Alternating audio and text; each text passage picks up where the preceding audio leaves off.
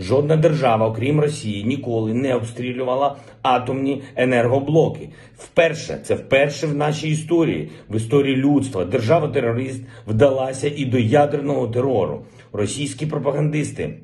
Погрожували всі, ми пам'ятаємо, е, засипати світ ядерним попелом. Тепер це не загроза, тепер це реальність. І ми не знаємо, чим закінчиться пожежа на станції, коли буде вибух, або коли його не, не станеться, дай Боже, ніхто цього не прорахує до кінця.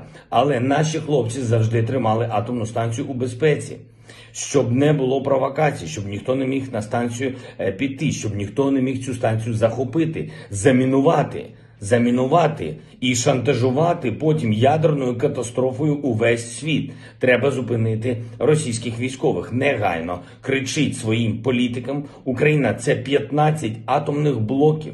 Якщо буде вибух, це кінець всім, кінець Європи, це евакуація Європи. Тільки негайні дії Європи можуть зупинити російські війська. Не допустіть загибелі Європи від катастрофи на атомній станції.